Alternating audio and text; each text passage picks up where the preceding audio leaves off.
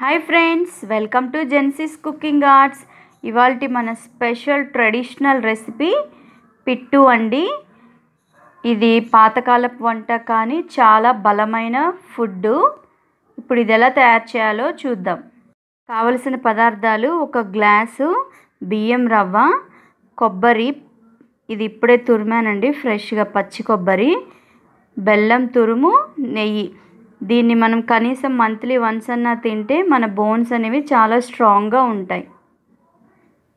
ముందుగా stove on చేసుకొని pan పెట్టుకోవాలి. ఇందులో బియ్యం రవ్వ వేసుకొని ఐదు నిమిషాల వరకు లో ఫ్లేమ్లో రోస్ట్ చేసుకోవాలి.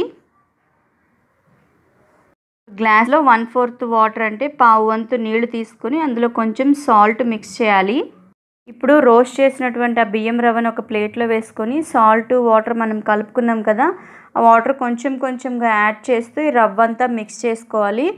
ఆ వన్ ఫోర్త్ వాటర్ ది మిక్సింగ్కి సరిపోతుంది. స్టవ్ ఆన్ చేసుకొని ఒక థిక్గా ఉన్నటువంటి మందంగా ఉన్నటువంటి గిన్నె పెట్టుకొని అది కొంచెం వేడెక్కిన తర్వాత దాంట్లో ఒక గ్లాసు వాటర్ పోయాలి.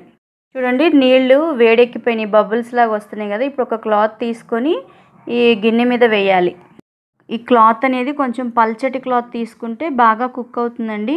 ఇప్పుడు ఈ క్లాత్ అంతటిని కూడా నీళ్ళు పోసి తడపాలి.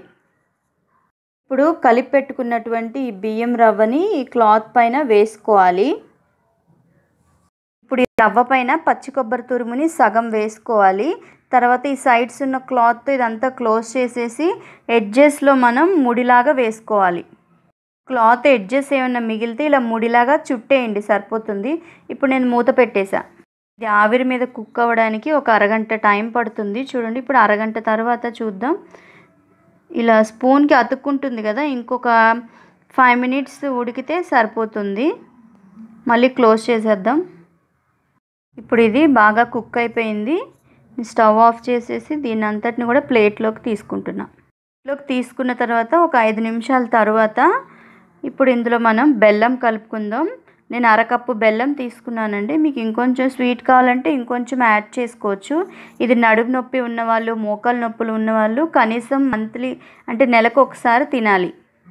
ఇప్పుడు ఇందులో బెల్లం కలిపేసాం కదా. ఇప్పుడు మిగిలిన పచ్చి కొబ్బరి తురుమును కూడా యాడ్ చేసేద్దాము. కొబ్బరి వేయడం వల్ల చాలా టేస్టీగా ఉంటుంది.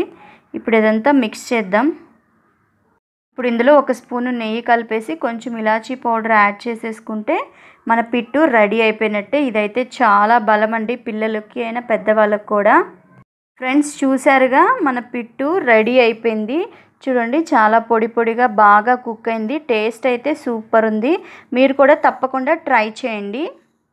ఫ్రెండ్స్ ఇప్పటి వరకు మా ఛానల్ని సబ్స్క్రైబ్ చేసుకోకపోతే తప్పకుండా సబ్స్క్రైబ్ చేసుకోండి.